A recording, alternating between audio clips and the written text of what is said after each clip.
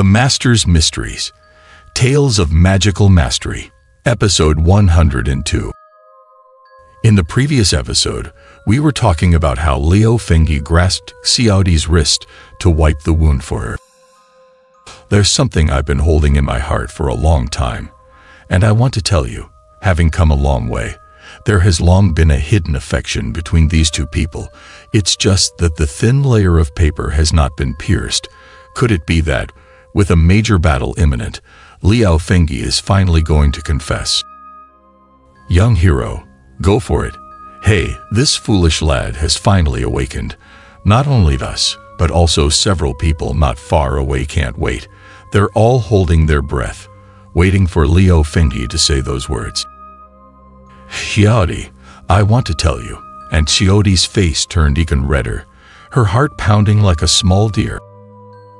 How long has it been since you washed your handkerchief? But unexpectedly, in this wonderful atmosphere, Liu Fengyi uttered a mood-killing remark.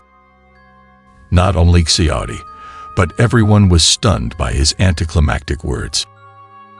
Cleaning a wound like this can easily lead to infection.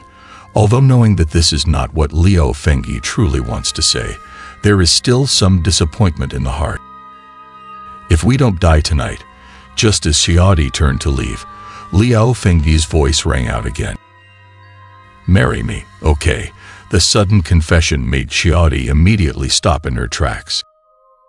Though I may be clumsy, but I'll treat you well.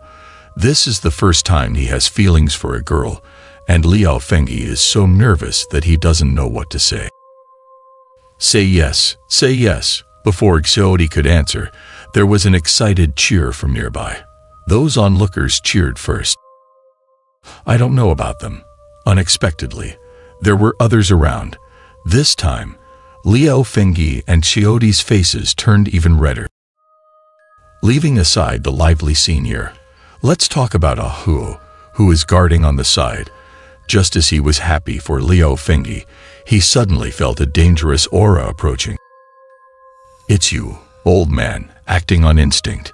He dodged to the side, and a bright red whip brushed against Ahu's chest and flew past. What a sharp youngster.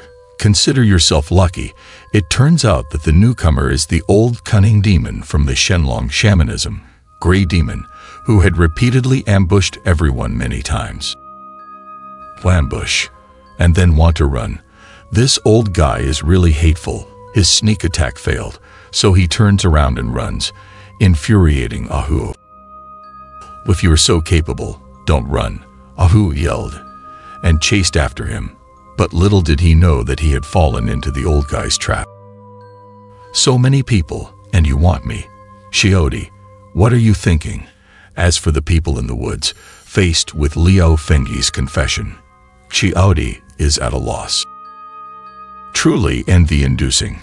Just then, a strange voice suddenly sounded behind them, followed by two dangerous auras. As a couple, we are happy for you. Ah, memories. We were like that too back in the day. The two turned around to see two people slowly emerging from the woods. The man and woman were dressed elegantly, unmistakably a couple. But it's a pity you are enemies of our Shenlong shamanism. From the aura emanating from them, it's clear these two are no ordinary individuals. I finally here. Let me handle this. Seeing the couple, Black Fox on the side raised a corner of his mouth and immediately jumped down from the rock. They are the leaders of the Fox Immortal Hall, Lord Q Fox Immortal Couple. It turns out that the Fox Immortal Hall on the left peak of the Three Extremes Ridge worships two Fox Immortals, and they are also envoys of the Shenlong Shamanism. They are handed over to me. While chatting, Black Fox separated the two and took the first mission himself. I heard there's a six-tailed black fox. It must be you. Right. Quite handsome. This fox couple seemed to have heard about Black Fox. Their gazes focused sharply on him. 500 years ago, a white fox demon went astray from the Nine Immortals Ridge. After arriving in the north, it cultivated by devouring infants. At this revelation by Black Fox, everyone was shocked.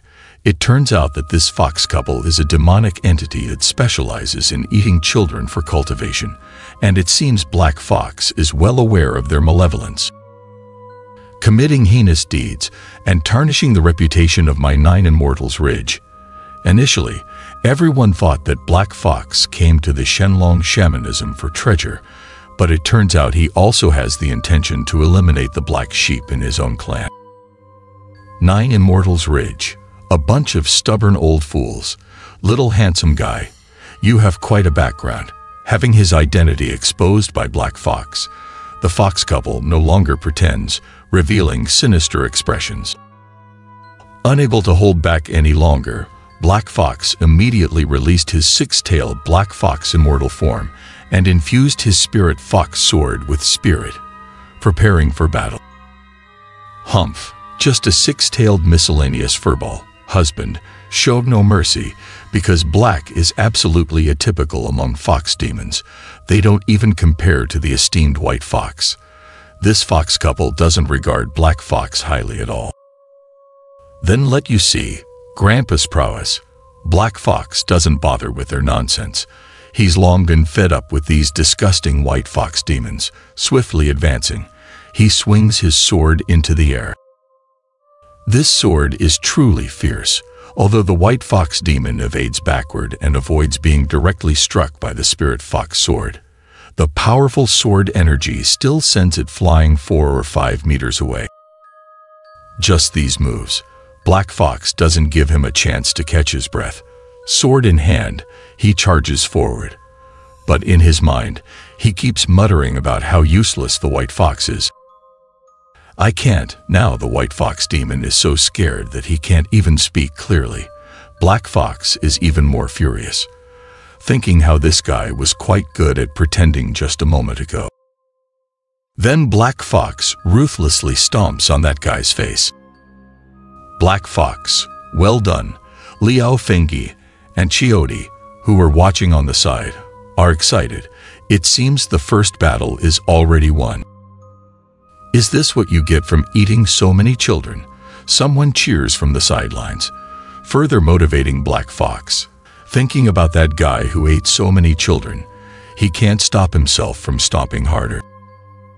Enjoying it, but at this moment, a sudden white flash passes through the corner of Black Fox's eye, and a dangerous aura approaches. You're thinking too simply. Kid, before Black Fox can turn around, the fist of the white figure has already smashed into Black Fox's chin. This punch is ruthless. It immediately sends Black Fox flying, blood oozing from the corner of his mouth. Black Fox now realizes that this guy is indeed not easy to deal with. However, just as Black Fox lands and looks back to the spot where the White Fox was, he finds that the person has disappeared. A bad premonition rises in his heart. Sure enough, that familiar sense of danger suddenly emerges from behind. Without giving Black Fox a chance to react, a powerful force slams into his back, and Black Fox immediately spews out a mouthful of blood. Then his body weakly flies forward. As Black Fox fell heavily to the ground, he completely understood in his heart that the gap between himself and this white fox demon was not just a small one. What happened just now? Unable to comprehend, Black Fox got up once again, and as he looked around, everything became clear. Immortal teacher, I know, I was wrong. Please forgive me. It turns out that the white fox demon that appeared just now was just a decoy. This white fox demon has established an immortal hall in the Three Extremes Ridge and has taken many wild immortals as disciples. Truly useless, this little fox demon must have made some mistake, sent to disguise himself as the frontliner.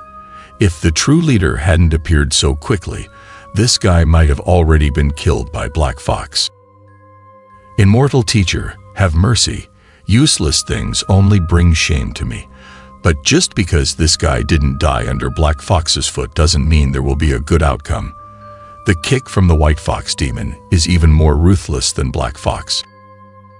Keeping you is of no use, right? he forcefully stomped on the wild fox demon and crushed it. Seeing how ruthless the white fox demon is even to its own kind, Liu Fengyi and Xiaodi couldn't help but feel a chill. The black sheep among foxes, not worthy of being a fox. However, this only strengthened Black Fox's determination to eliminate him. But before Black Fox could charge towards the White Fox demon with his sword, suddenly a powerful force struck his back again. This time, it was even more ruthless, sending Black Fox flying over 10 meters.